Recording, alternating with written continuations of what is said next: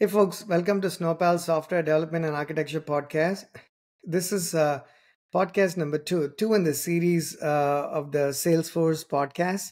Uh, I guess I haven't given it a name, at least I don't know what name I would give it, so I'm just going to call it the Salesforce series. The last one we kind of got started. I say kind of because if you hopefully you've seen that one before you're watching this. If not, I recommend you do that. It was 20 minutes of me trying to figure out the, the lay of the land, if you will. Uh, it, it was interesting, I think, at least to me. So definitely watch it just so you get some context to, to this. But we are really going to be getting started here. Uh, we've done just, we created the project in the last one, gave it a name. Snowpal Podcast was the name of the Salesforce project we created for the Anypoint uh, Mule application of the platform. It's called. Let's go look at that. Right. Let me go uh, share my screen and we'll pick up from where we left off uh, in the last one. Okay, let me share. I think I figured out this desktop situation, so I'm going to share my entire desktop. Okay, so we got as far as uh, this. We said we need to, you know, we we basically let me move this to tab one. Uh, we created the project turns out it's it's an integrated uh, VS Code IDE. Hopefully, I can change it to.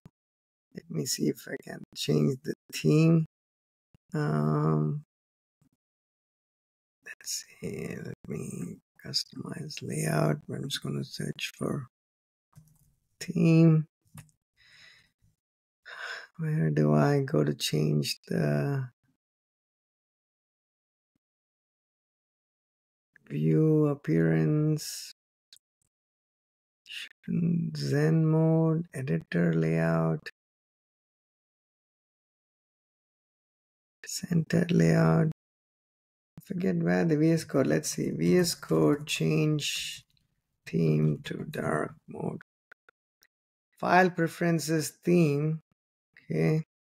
File preferences theme, color theme, light modern. Let's see. Okay, that looks all right. Um, so we are here, uh, and we we just trying to explore what Anypoint. Uh, you know, when we're going back to let's say going back to Salesforce, where did we start? We went to products. Oops, we went to products. We went to um, where did we go? We went to MuleSoft integration here, right? I believe this is where we were. Uh, no code integration and automation, uh, MuleSoft Anypoint platform, right? Uh, connect any data, app data, or service with the MuleSoft Anypoint platform. I want to say that this is where we started. Uh, not 100% sure because I just recorded that and it's the first time I'd been to that page, but I'm quite certain. Okay. Anypoint extension, and that's what this reads as well, right? No, thank you. Okay. So it says open VS Code, find that from the desktop IDE. So let's go here, search for any pack extension, pack. Does it already come? Anypoint code builder. And this is from the Visual Studio Marketplace.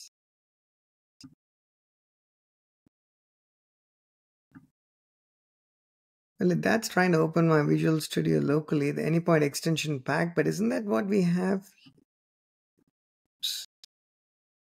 Anypoint code builder. Anypoint, let me just search for Anypoint. I can't seem to find it. Um, Visual Studio. Yep. It does look like we would need that uh, Anypoint extension pack. Uh, does that mean it comes installed with this one? Extensions. Oh, was there a filter that was turned on? I did not click that filter. Anypoint code builder. Anypoint extension.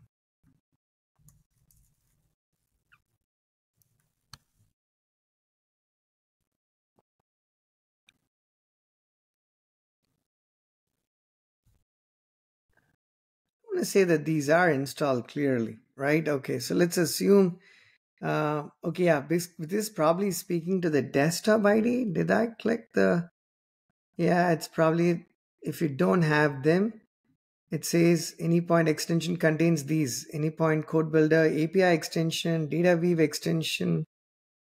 Uh, what was it again? Sorry. API extension. Oh, yeah. Uh, DataWeave extension. What else do we have here?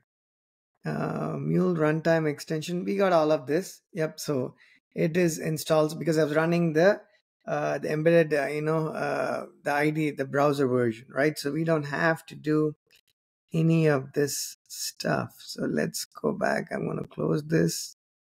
Probably I'm going to close that. Um, it says build an API from start to finish, prerequisites, create a trial organization, which I believe we already did, right? We just created a trial org. Um, I don't know why it's taking me back there. Okay. It's a little bit annoying when you hover over this, this big menu pops up all the time. Download Studio, Eclipse based IDE with rich functionality. So that's interesting. It says AnyPoint Studio is an Eclipse based IDE. Um, so I guess when you download it, you get an Eclipse based IDE, not so much the VS Code based one. And then install advanced REST client. Okay, I guess we are fine prerequisites. I'm going to ignore that. Um, Okay, API specifications, explore existing API spec. So public exchange, is the portal hosted by MuleSoft that contains API specifications, connectors, and other assets you can download and use. So take me to Exchange, AnyPoint Exchange. Okay, so there are a lot of these assets, I believe. You know, it's many years ago, I did a tiny bit of work with MuleSoft. It's not since then. Um, so this looks a little bit like you know like the api mark the aws marketplace it actually says marketplace for connectors templates but the aws marketplace probably is different has a slightly different purpose uh, this one looks to me like it it is uh, one of those api platforms where you have these these other plugins and and and tools that you can leverage uh, the more and more i see it the more and more it looks like some other things i've used in other places okay cool um, Okay, so what are some MongoDB connector? Um, so we need to build something with MongoDB. There's a Kafka connector here. There's a SharePoint connector. So I guess all of these are are plugins. There's a there's probably a large number of them. Yeah. Is there a way to give? Uh, I would like to see it in a different way, not like sort by. Um, I guess you can filter them provided by MuleSoft. That's the only thing. Maybe other companies can provide it and publish it. Maybe you can have, uh, you know, that's why you might have other user organizations, or we create one as we go and we we make that maybe public or just internal to our teams, essentially, right? I just want to see a, a, a different view of this, like a flat list, so it'll be easy to understand what's here. But I think we get the idea. There's there's a, plenty of connectors uh, take me to Anypoint platform. Back here, I have that opened already. Create your API specification. It says take me to the API designer. Okay, this is a new page, and then we have the API projects. To go in here to the design center. Oh, we are back at the IDE you know the browser based IDE, i mean it works when you're collaborating and pairing but otherwise it's it feels already noisy to me. I actually would prefer uh well this you know for this to actually be a desktop IDE. so when i do the third podcast here you might just see that i'm not using the uh, browser version essentially okay? So this is the design center. Um new servers templates root components. Okay this is us modifying the the this open api spec essentially. So I, should i go here and then say components and then enter details? Okay cool. We'll not go into uh the open api spec yet. So that's the designer. Let's see what the example says. Uh, create a new api specification create new API specification file.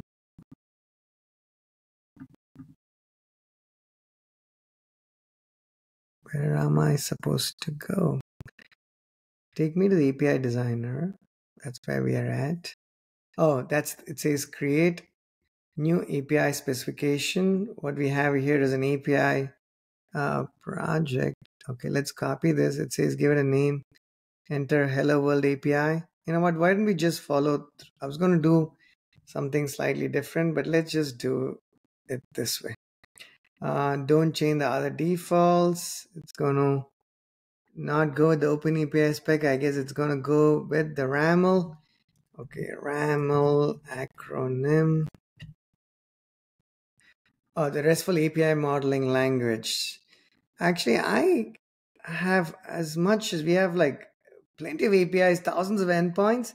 I've not actually used RAML. Um, let's see, RAML example. Actually, why why don't we discover there? I'm sure there's.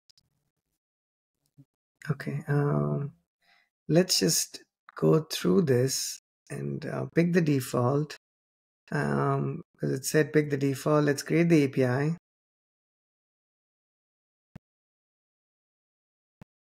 Okay, it has it here. Um, now it says delete the editing text and paste in the following RAML. Let's just copy paste it.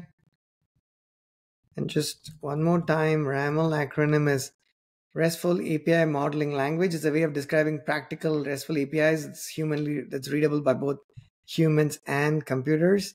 Let's do RAML versus OpenAPI. I've always used OpenAPI. Uh, so keep documentation. So our goal of RAML is to provide all the necessary information to describe the APIs, thus providing a simpler way to design APIs. So OpenAPI, if you don't know, it's you know it's a specification. Uh, you know whether using Postman, other things you can uh, you know export your collections as OpenAPI or create them as OpenAPI conformant specs and then publish them to different platforms. This is what we do at Snowpal. But looks like there is a another way of doing it, which is RAML, which essentially is a RESTful way of, of doing this. We will take a look at this because that's the default we've actually picked here, right? Um, so let's keep going. Now that I hit, uh, I copy pasted this this section. Let's look at, let's see if there's a RAML editor so that we can actually see this slightly and slightly better UI. Okay, um, I don't want to install anything. RAML online editor. Design your API. RAML.org. Try it out. Okay. Yeah, let's do this, right? Let me just copy paste what I had over here. Um, this is, uh, let's see, hopefully it's big enough for you to be able to see this. Uh, it's got a title, it's got a version and a description, types, greeting properties. Um, so there is a greeting endpoint. It's a GET request. It returns uh, 200 or a 404. 404 is page not found. 200 is, is when the status is you know okay. Uh, it has a body and it says it's going to return this. So let's actually try running this request. So I guess this, you know, if you're there must be a mapper between OpenAPI and uh, and RAML. So I think to me OpenAPI reads just fine as well. But I guess if you prefer this format, this syntax, then you could just do, uh, you know, RAML. Um, so greetings, the endpoint. This is a very simple endpoint. Let's go back to our page one here. Uh, there's not much more to talk about this endpoint. Now it says open testing a specification. Let's see, what do we need to do to test it? Take me to the API designer. Okay, I don't want to keep clicking the same thing. Uh, open the RAML file. If it's not open, yep, in our case, the RAML file is open. Still have to understand we were on a particular IDE before, but we are in a different place altogether. Now we are on the designer. So I believe this is the design center and we created the RAML file and let's actually try testing it. Uh, click the documentation icon if the panel isn't already open. Um, it says, yep, okay, we click the documentation. And then I guess I hit get here and then try it. Send the request. Okay, you see there, right? It says today's uh, greeting. So this is the request URL. Let's copy the request URL. Um, so that's the whole URL resources, projects, I guess the project ID, blah, blah, blah, and then greeting. Hang on. Um, no organization ID header. So let's go back here. There's probably something on the header. Let's see where the header is. Uh, not seeing. There's no query params headers. Wow. Okay, I'm getting the getting a hang. I'm gonna do you know share my feedback as I go as I discover more about this. You know my personal opinions of what I like, what I don't like. Uh, you know, just again, just sharing my two cents along the way uh, while we learn and discover this.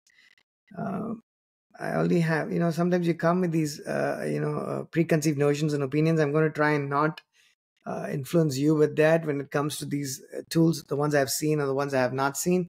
But, you know, we have these unconscious biases. We like certain tools, we like certain methodologies and approaches, and maybe not uh, not the same with the other tools. Uh, but promise you, I'm going to go with an open mind and tell you why you know i might recommend one versus the other or where my inclinations are just based on my experience right right now the problem i have is it's not showing me the header because you know when i copied this url and i made a get request i was expecting for this to work uh, but it did not that's because there is no organization it says there's no org header which means when this request is being actually it's like so many. Okay, let's just do an inspect here. And then let's just go to network. Let's clear everything. Oops, that's actually wow. Okay, that's clear. Um, let me just say hit send request. When we send the request, we go to the header. Uh, request headers. This is the URL request header uh, there's app authorization header i bet this was not there which is why that request did not go through let's do something here right? Let's actually open postman. Um, new window. Okay uh, we have a lot of r. Um, i'm just going to create a new blank collection to test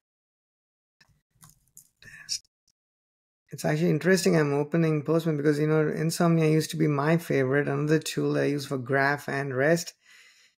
Off late, I've run into you know it just it doesn't feel the same like it was like many years ago uh, when it, when it was built by a single developer. So I'm losing my uh, you know uh, affinity or love to Insomnia. I'm used. I've, I've, I've seen myself using Postman a lot more, which it's a it's it's the most popular API tool out there. So why not? Uh, Okay, so I create a collection. Let's add a new request. I'm just going to say, uh, what is it? Any point um, greeting, right?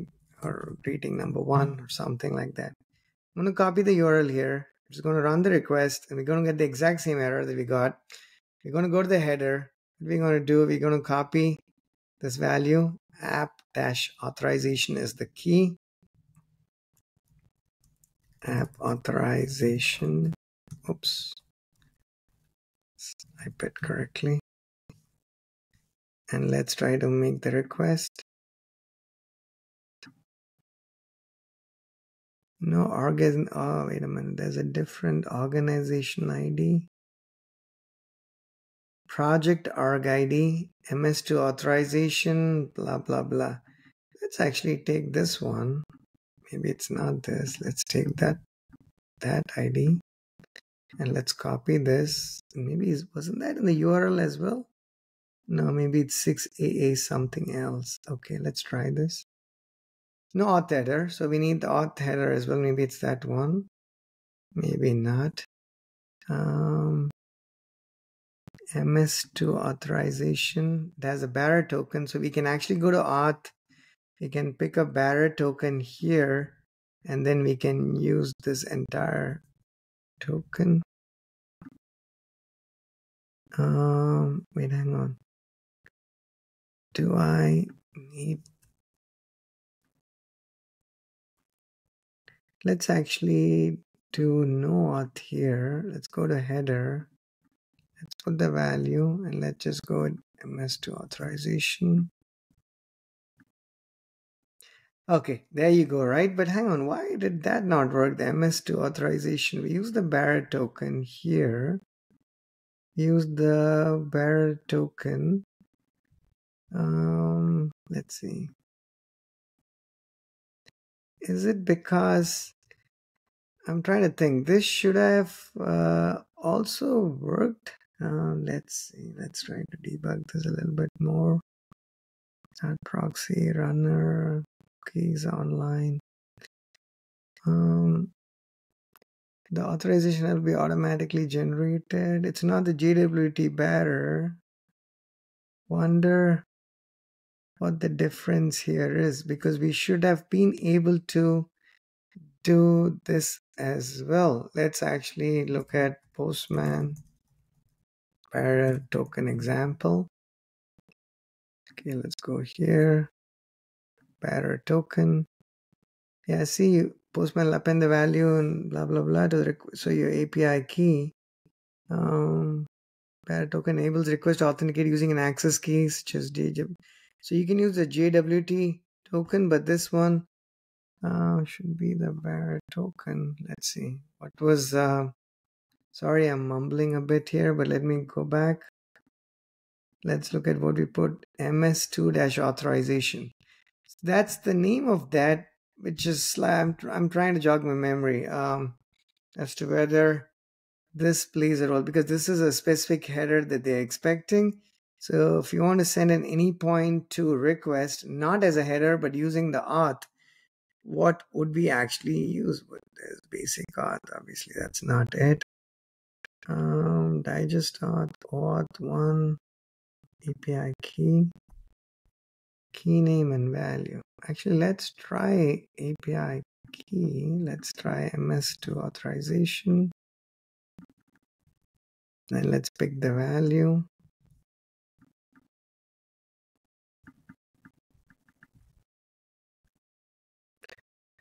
That works, right? You saw that because you know we did we uncommented this. It would have otherwise failed, but then this is an API key, right? It's it's even though it it's a little bit interesting because even though it says bearer, I, the structure looks a tiny bit different to me. So this you can make this request as an API key, and I guess Postman sends it with a key name and as a uh, as a token. Because if it's a straight up bearer token, uh, API bearer token key name.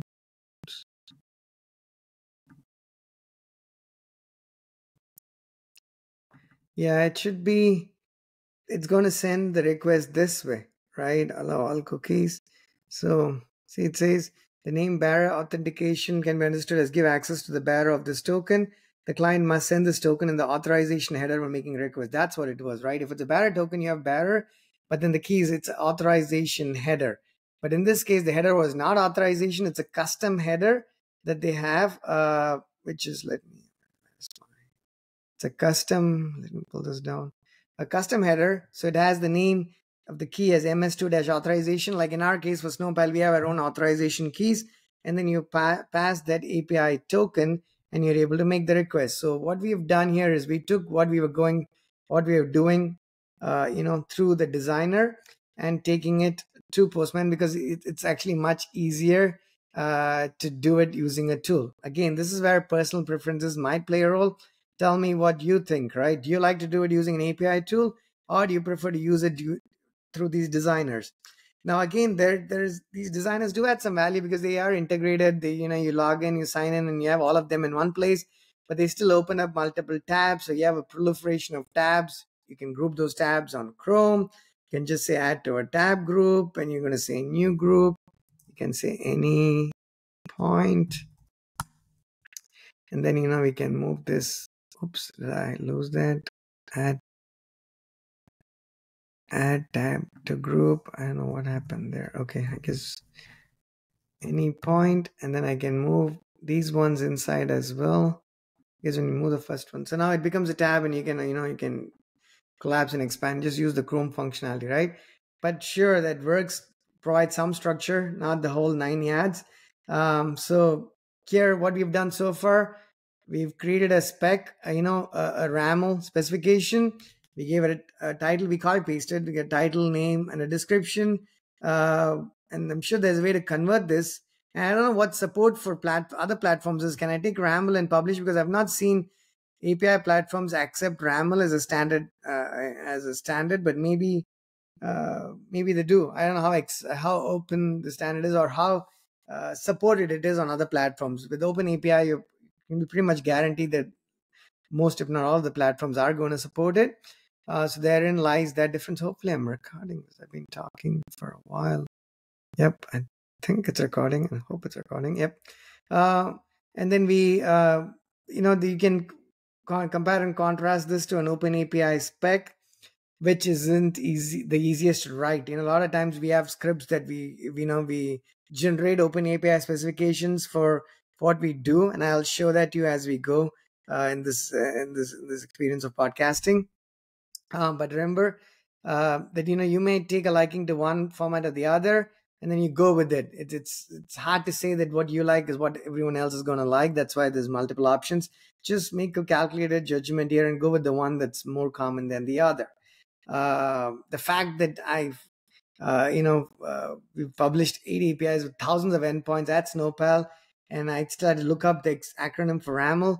says one of two things: either I was just uniquely ignorant about it, or I just haven't found the need in Open API just worked well enough that uh, we didn't need to do it a slightly different way.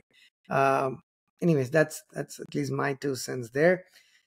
So we ran the request and now it's actually uh, let's talk a little bit more right? So it created this mock response. Where is this actually coming from right? Where is this response coming from so let's say i change this test greeting response to hello there right and then i hit this request it says hello there right so i didn't have to publish let's see what publish Publish probably makes it public. We'll see what that does. I'm pretty sure that's what it is. But by virtue of me just making the change here, you know, it, this is the mock response is being generated from here, right? As you could see, we changed that. And then if I add another bang and then I go back here, it saved. It took a second to auto save. And then, oh, hang on.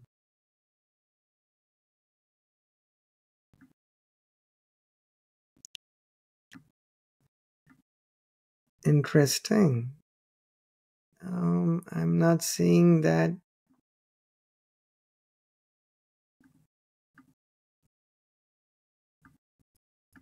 What's going on here? Where is that coming from? I made the request. It still says test greeting. And why is it test? It's hello there now. This is a bit strange. Um, you have two bangs here. So you can see it's two. Oh, I'm seeing it on and off. Hello there, hello there, test greeting, hello there. That's. T- I have to understand this better. Where is that data actually coming from? Right? It's it's a mock response. Um, I was under the I was presumptuous. I was under the assumption that changing the example here. Okay, let's see.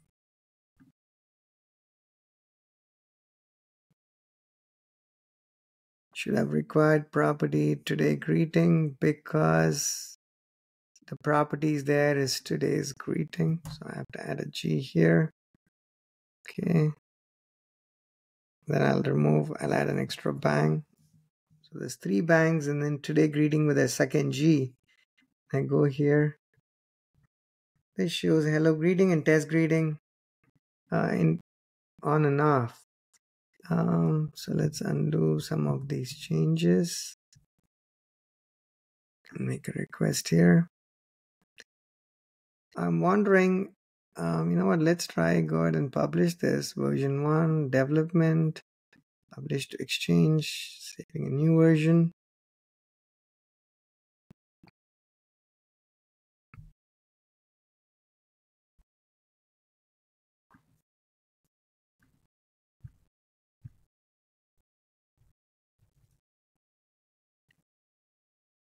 That was published. We'll, we'll, we'll have to look up what publishing to the exchange means and where to go see more details about it, etc. This is if you're wanting to collaborate with somebody, right? Okay, um, trying to think here. Um, use mocking service without authorization header. So they do have some option there. Mocking service configuration, local settings. What I'm still curious about is where is this value actually coming from?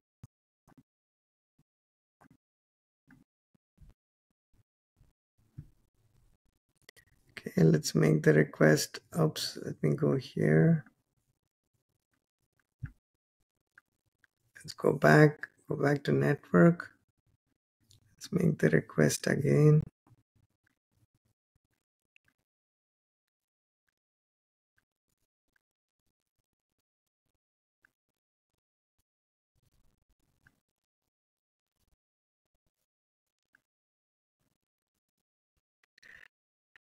Okay, BCS project 6A, blah, blah, blah. That looks the same. There's no difference there. Let's look at the project IDs one more time. The authorization is 9911.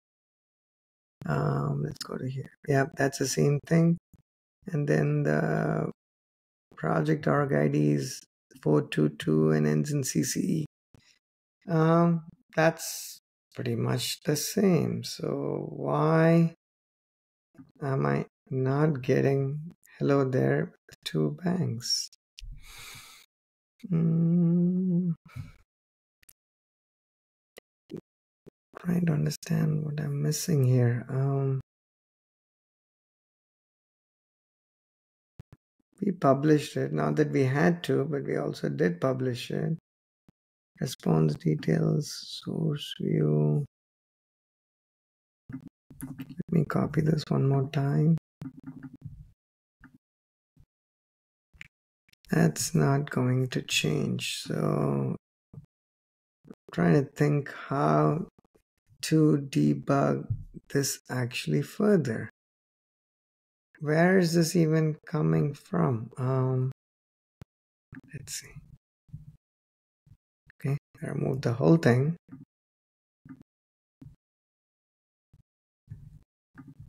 That still does work. Okay.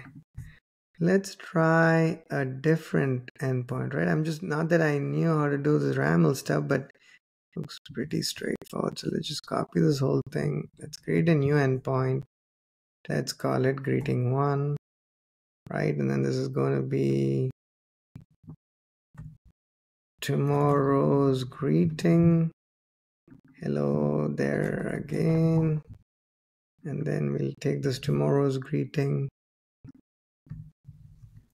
Make it a string.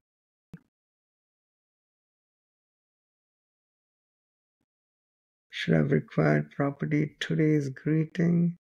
Oh okay If i put in the wrong place let's take this let's copy paste this let's remove this from here remove that from there. And then um, the type is greeting. We're just going to call it type is greeting one as well. Apologies for these poor names. Yeah, we just split that. We have two types now greeting and greeting one. Today's greeting and tomorrow's greeting were the properties. So this is not complaining. We've done, you know, as you can see, we didn't know RAML, but you know, we, we just learn it as we go, right? Uh, by examples, much quicker than going to, you know, to read RAML specification and you can spend as much time as you need trying to get understand this. If if you like to do it, sure. Uh, we do it a little bit differently at Snowpal, which is why our courses uh, are much like this, right?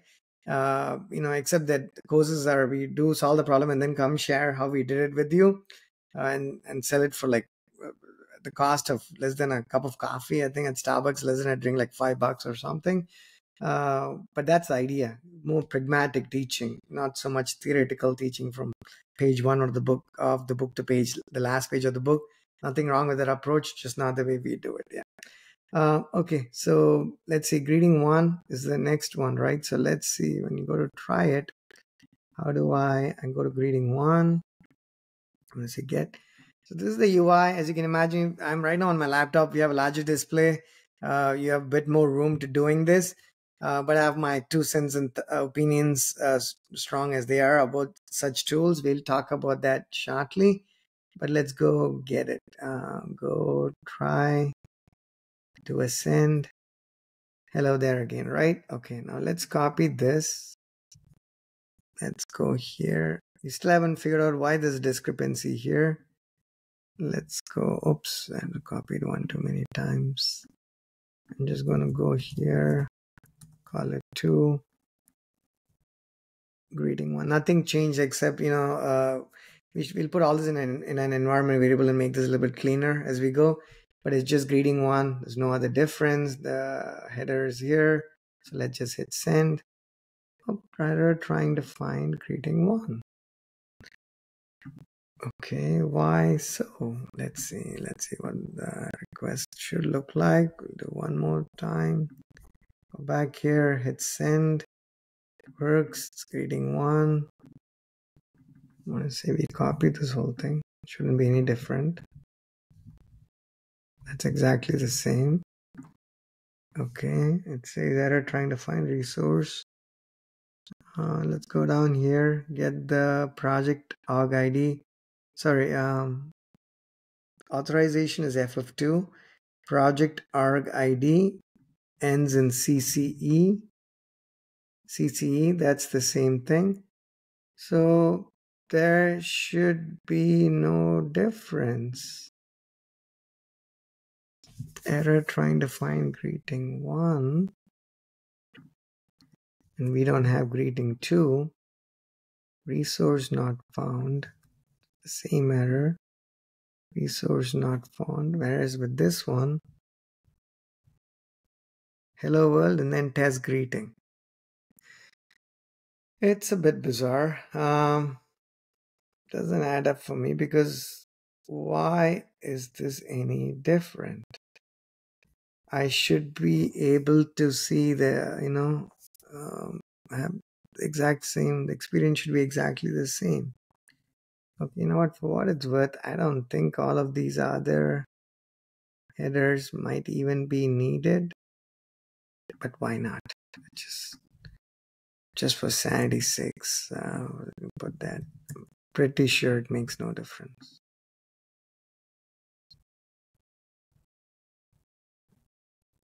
Oh, wait a minute. There's a bit more consistency here after I actually added the user owner ID.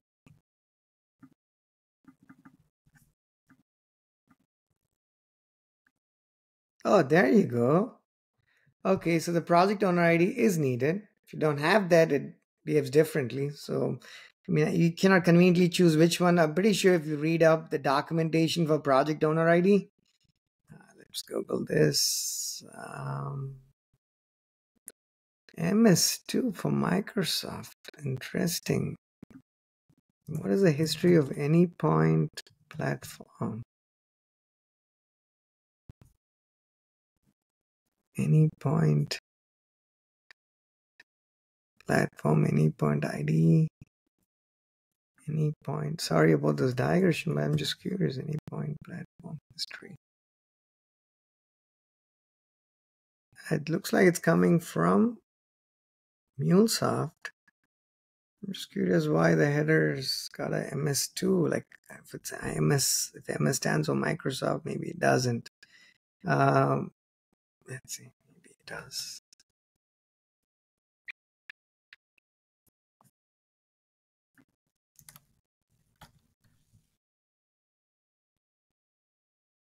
trying to see.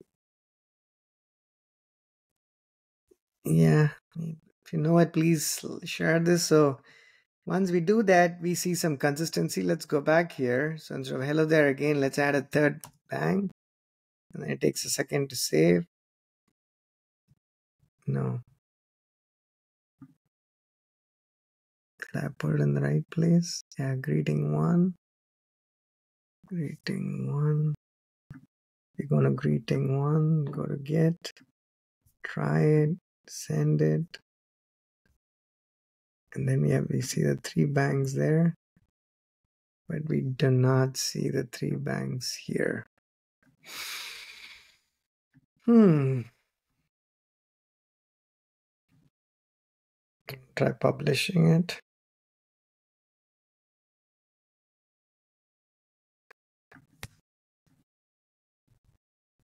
I don't think publishing should have any bearing on on why this data does not change here. Hello there, hello there again. Okay, let's change hello there to three bangs. Let's go here, go to greeting, let's see, and then we'll hit right, send. Then you're going to see three there. Going to go back here. Send. Nope, we don't see three bangs. So when we change the RAML file, we see the data take effect immediately, and then the request does not look any different. Let's see, let me go back here. Uh, now that we copied over all the other IDs, the main file, which I don't think Okay, now what? Let's make sure. Let me not be presumptuous and be wrong one more time. So let's go here. Hmm. Actually, there's a better way to do it. We can actually go to a bulk edit. Um, now on the laptop, it's a little bit trickier because uh, these windows become tiny. Um, but there's a bulk edit. You can go here and copy the whole thing. So that's much it's a little bit more uh, efficient way of doing this. Oh, maybe. Let's see. Let me add uh, hello there again, back to one bang. And then hello there is also maybe hello there will be two bangs. So this should be two. Oh, it is 2 and now this is 1. Well, well, well. Okay, let's go here. Let's put a dollar sign. It saved it. Oh, wait, hang on. Let me make sure. I, it takes a few seconds for the auto save. Oh, yeah, that's okay. That's how it is.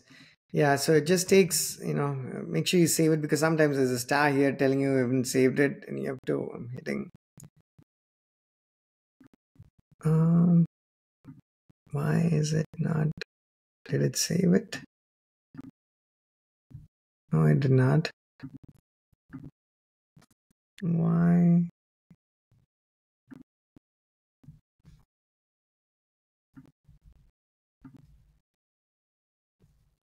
Try and click Apple S to save.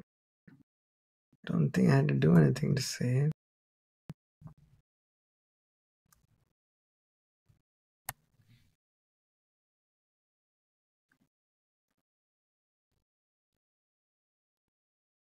that didn't change i on greeting one yeah this is greeting one let's try to send the request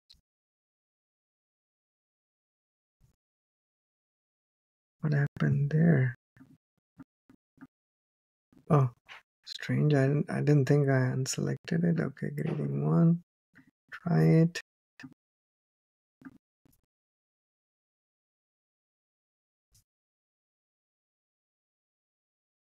This doesn't pick up the change I made here.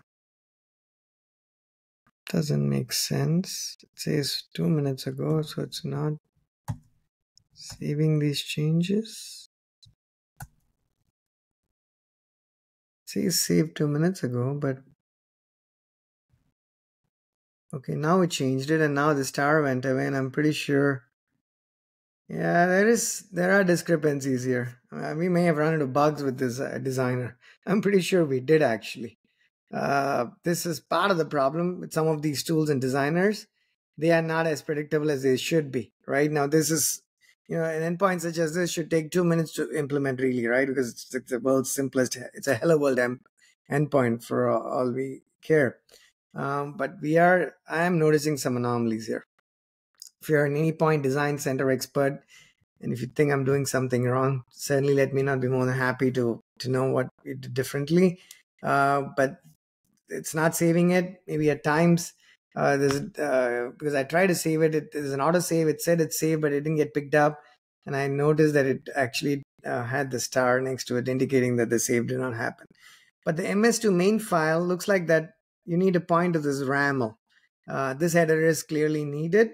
Um, if not, it was not working, but it still got the response back. We saw the greeting, but it didn't didn't do it con- consistently. So I want to say that that doesn't look correct. Either it should have should work or shouldn't work, but it cannot work midway because you didn't have a header. Um, so I'm not convinced that is actually correct. Let's see how far into our recording we are at this point, right? Um, wow, we are uh, 45 minutes in. I think this is a good point to pause. I think we made some progress compared to the first, at least compared to the first podcast in the series, right? Uh, we're talking about Anypoint design editor. We looked at it. We've created, uh, you know, we understood what RAML is, REST API specific markup language, right? Uh, before I say the wrong thing, RESTful API modeling language. Remember, I said earlier, sometimes you can use expand the acronyms not so correctly and it'll still come across correct. This is one of it, maybe, uh, maybe not. And also, we saw RAML. We uh, uh, took the example. We created the greeting endpoint, ported that over to uh, Postman, picked up the headers, the authorization header. Um, that it's an API key. It's not so much an authorization, even though they, it had the bearer token, which seems a little different, a little bit unusual, unusual to me, if you ask me. But I guess it's okay. And then we saw, we ran the request, we saw the discrepancies because I had not copied over all of the headers, but it actually did work with the headers being incomplete. And then we added more headers. We actually went to three of them, and I think we're coming closer to some sense of consistency, except the fact that the save was not happening accurately, right? So that's what we've done. And then we'll we'll we'll keep chugging along here, right?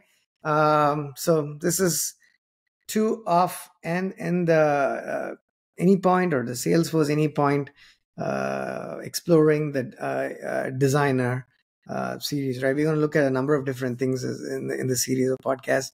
So hopefully you enjoyed it. If you have any questions, if you want me to do something slightly differently, let me know. I'd be happy to do that. Before I end, remember to check out our APIs on saas.snowpal.com or aws.snowpal.com.